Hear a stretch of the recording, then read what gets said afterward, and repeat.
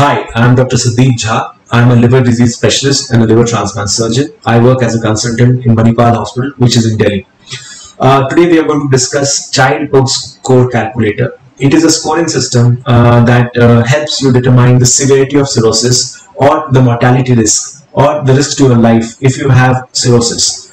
Uh, these there are a few blood parameters and there are few clinical parameters in the scoring system and it helps you determine the severity of your disease. Previously, we have discussed MELD scoring system or model for end-stage liver disease, which is another scoring system that is used in cirrhosis. However, it has its flaws. And as you as you have seen that in MELD calculator, only blood parameters or lab parameters, laboratory parameters are entered in the scoring system.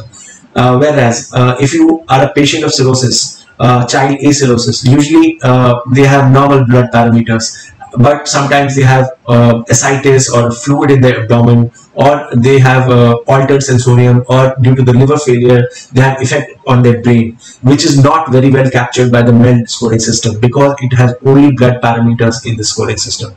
So child scoring system also has its benefits and uh, so we'll go online and see how we can calculate our uh, child uh, uh scoring uh, system or child stage of our cirrhosis and what is the uh, mortality risk in such a patient?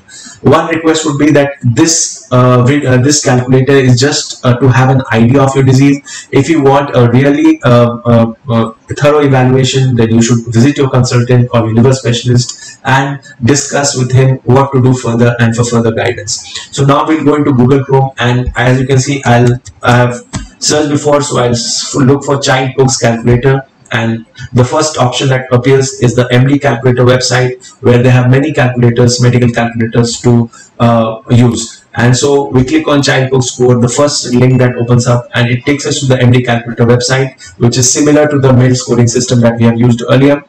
And you can see the parameters like total bilirubin which is usually less than 1 in our body 1 milligram per deciliter.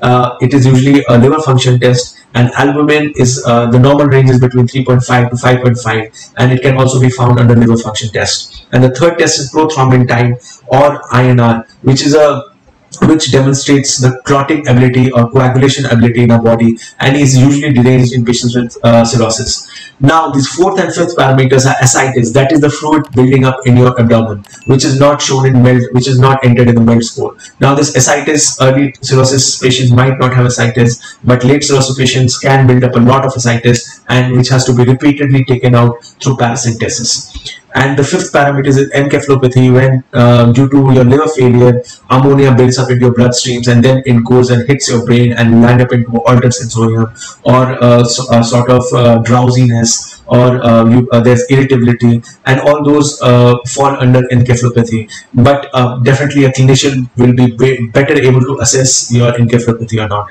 But if you are aware of your encephalopathy you have been hospitalized previously with your encephalopathy then you can use this staging system.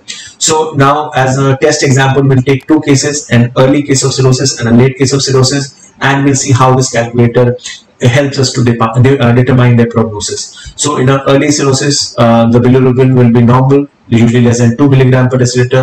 We'll select that option. The albumin will be in the normal range usually more than 3.5 we'll select that option.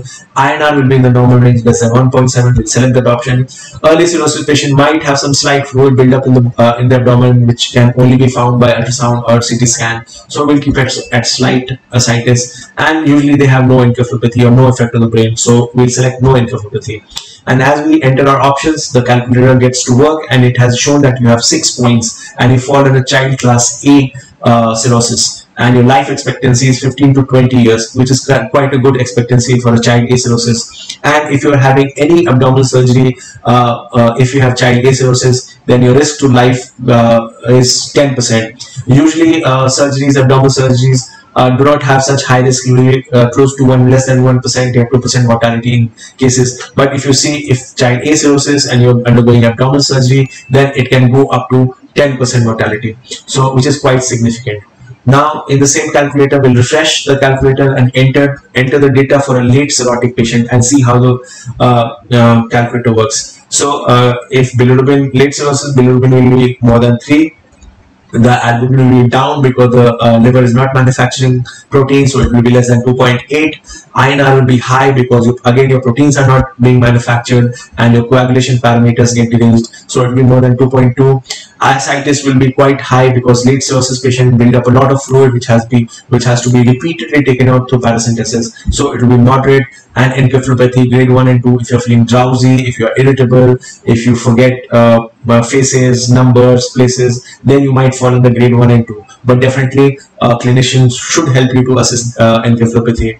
And if you enter these values suddenly your point uh, jumps to 14 points and you fall under child class C which is a very advanced cirrhosis and your life expectancy if you notice it has fallen from 15 to 20 years to 1 to 3 years which is significant reduction in survival or life expectancy. And if you look at the risk of undergoing any abdominal surgery it has jumped from 10% to 82% which is extremely high. And usually in such cases if you have a child C cirrhosis no surgeon would like to operate on you because you have a very high risk of mortality. And usually all such cases are delayed and they advise you to undergo liver transplant and then undergo the surgery either simultaneously or later when you have recovered from the transplant. So this is this uh, by this video i have demonstrated how you can use this simple scoring system by going online and entering your values and knowing what is this severity of your disease and knowing what is the prognosis and your mortality risk uh, so if you have found this vid uh, video useful, if I have provided useful information, so uh, then please share and like this video so that more and more people can benefit from it and uh, uh, and live a better and fully fulfilling life with cirrhosis. Thank you.